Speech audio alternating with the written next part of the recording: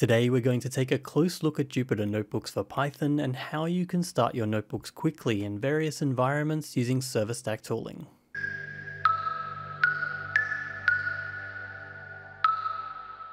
Jupyter is an exciting initiative to support an open standards language agnostic interactive computing platform.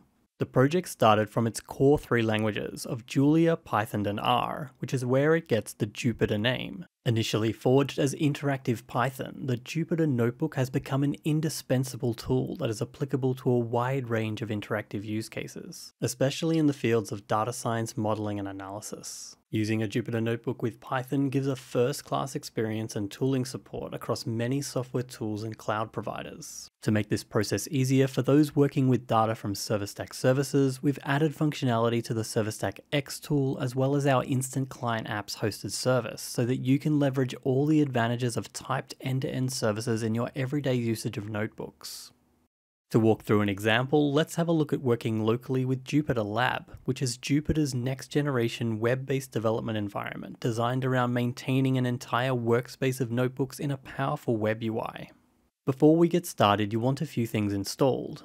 Python 3.7 or higher, the latest .NET 5 SDK, and the ServiceStack X tool. If you don't have the ServiceStack X tool installed, you can install it using the command .NET tool install-gx. Next, you'll want to install Jupyter Lab itself. This can be done using the Python package manager pip, with the command pip install Jupyter Lab.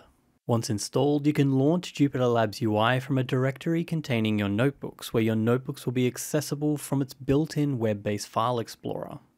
Now we have all the parts in place, we're going to work with a hosted ServiceStack server that allows us to fetch US COVID vaccination rate data by state. This hosted demo can be found at the address covid-vac-watch.netcore.io. Having a look at the metadata route of this demo app in our browser, we can see there are two endpoints hosted. One to get all the location names of the US states, and the other to query the vaccination rate data itself. We're going to use the query vaccination rate endpoint with our notebook, so we'll need the name of the request DTO listed here in the metadata.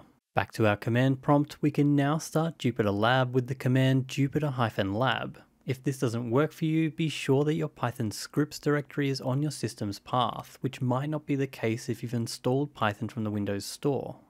Once started up, Jupyter Lab will open a browser window to the Jupyter Lab UI, starting at our local directory. We're starting from scratch, so we don't have any notebooks yet to work with. We could create a new notebook in Jupyter Lab directly and start writing a code we need, but a faster way to start working with data from a ServiceStack service is now available in the X tool, which generates a notebook on demand for a specific host and service.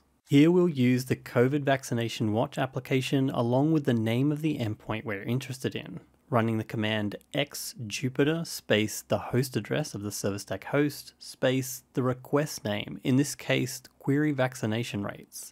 This will pull the required code to interact with this specific server ready to open and run.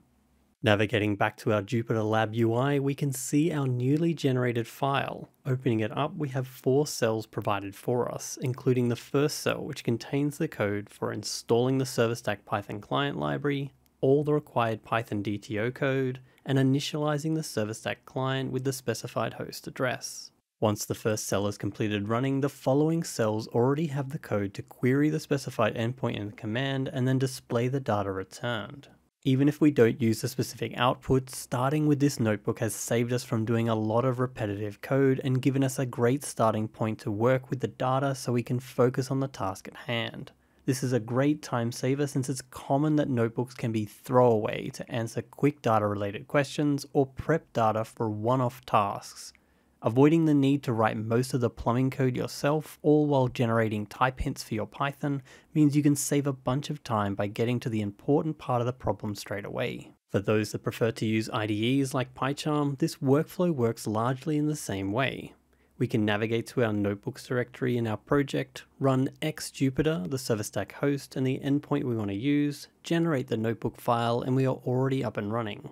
Another way to take advantage of the ServiceStack generated notebooks is within the various premium cloud hosted solutions. AWS SageMaker allows us to host secure notebook instances with access to a variety of first class integrations for machine learning right inside your AWS environment. Because the ServiceStack X tool is generating the notebook on demand with a specific hosted server you'll be getting data from, the generated notebook uploads and runs in this environment just as easily.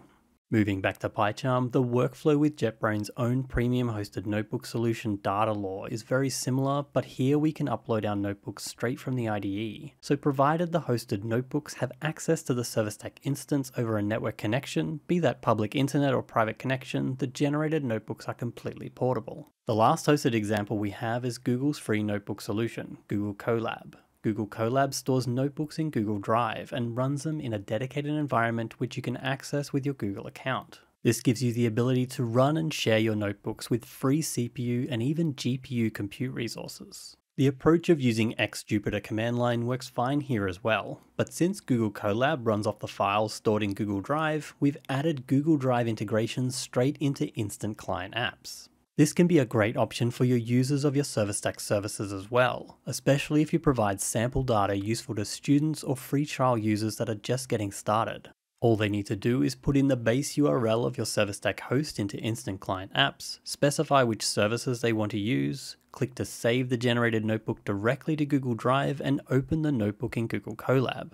No additional infrastructure on your part is required, Instant Client Apps is free to use, and no account is required. Just as we can see here using the COVID VacWatch demo hosted by ServiceStack, even just wrapping a public dataset from GitHub, we've made it easier for anyone to interrogate that data at no cost with just a browser thanks to services like Google Colab.